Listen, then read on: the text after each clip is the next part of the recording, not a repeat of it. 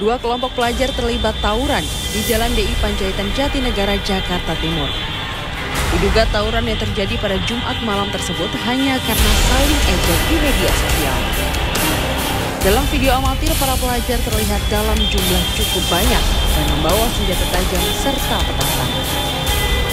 Sejumlah pengendara yang tengah melintas pun terpaksa harus menghentikan laju kendaraan. Bahkan beberapa lainnya lebih memilih berputar arah. Banyak yang mengaku takut jika menjadi korban salah sasaran saat melintas. Warga sekitar pun berharap polisi segera menindak tegas para pelaku tawuran yang sudah beberapa kali melancarkan aksinya di wilayah Jakarta Timur.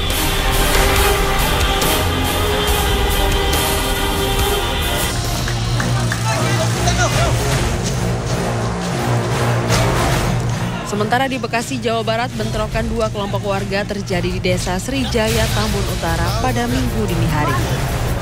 Dua kelompok warga saling serang menggunakan kayu dan batu.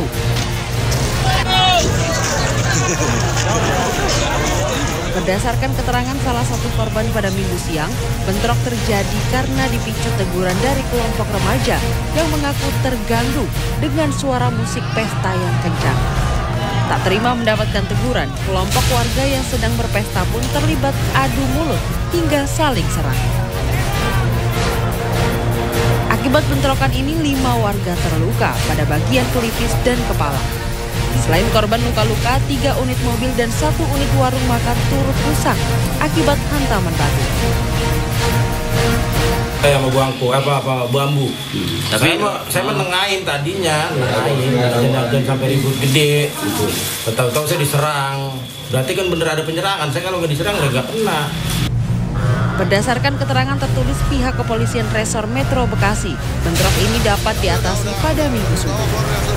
Polisi pun mengamankan sejumlah warga untuk dimintai keterangan. Tim Liputan CNN Indonesia.